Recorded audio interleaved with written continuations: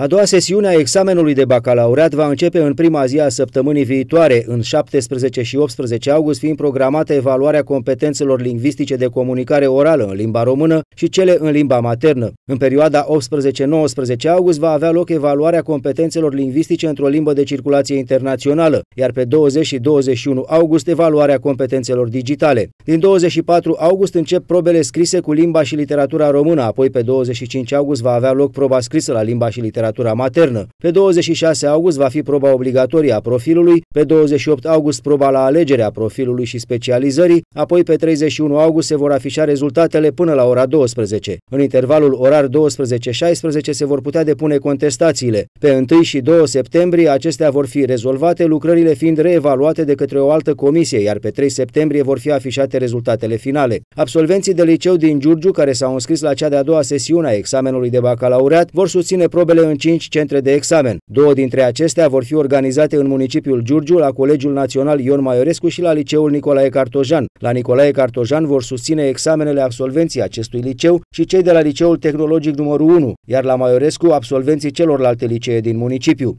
Alte trei centre de examinare vor fi constituite în județ, unul la Liceul Tehnologic Dimitrie Bolintineanu din Bolintin Vale, al doilea la Liceul Tehnologic Tiu Dumitrescu Mihăilești, unde vor susține examenul și candidații de la Liceul Mihai Viteazul din Călugăreni, iar cel de-al treilea centru va funcționa la Liceul Udriște Năsturel Hotarele, unde se vor prezenta și candidații de la Liceul Tehnologic numărul 1 Prundu.